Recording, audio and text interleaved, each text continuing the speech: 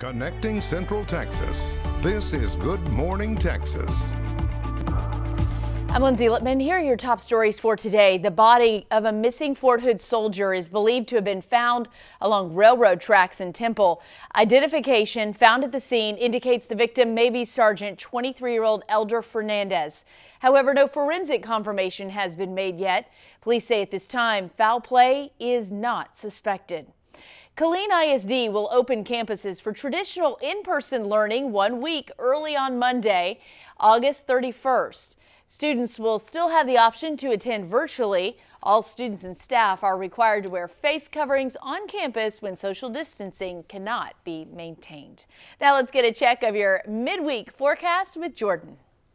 Hurricane Laura is closing in on the southeast coast, so at least we're going to have cooler temperatures for the next couple of days thanks to that. But our rain chances go up tonight into tomorrow, only about a 30 or 40 percent still, so not widespread scattered showers and storms.